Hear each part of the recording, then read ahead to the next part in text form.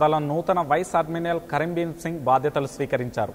ముందుగా ఆయన ఆచార పరిశీలించి ఈఎన్ఎస్ నౌకల స్థావరాల నుంచి తీసుకువస్తున్న నౌకా సిబ్బంది ఫ్లాట్స్ను సమీక్ష సమీక్షించారు.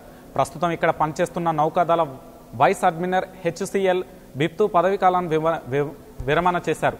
నౌకాదళ జీవితంలో ముప్పై తొమ్మిదేళ్ళ పాటు బిప్త్ బాధ్యతల్లో ఉన్నందుకు గాను ఈయనకు ఈస్టర్న్ నేషనల్ కమాండో స్వాగతం ఘన స్వాగతంగా పలించి పరేడ్ నిర్వహించారు. పులింగ్ అవుట్ కార్యక్రమంలో ముందుగా ఆయన గౌరవ వందనాన్ని స్వీకరించారు.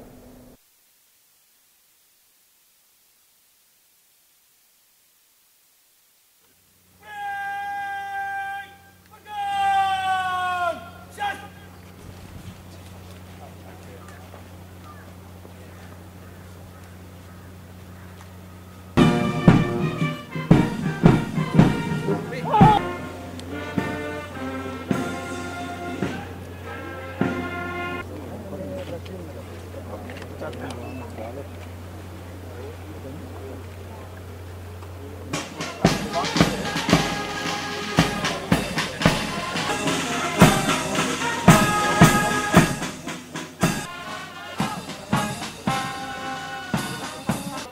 कॉन्कोस ईस्ट से कमांडर वाई प्रशांत कर रहे हैं आज की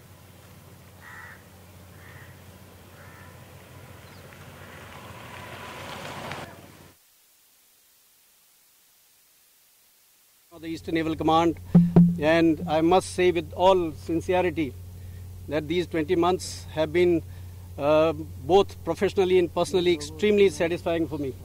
And um, uh, in the last 20 months, the command uh, has um, been very proactive on all fronts, aspects, or in technical issues.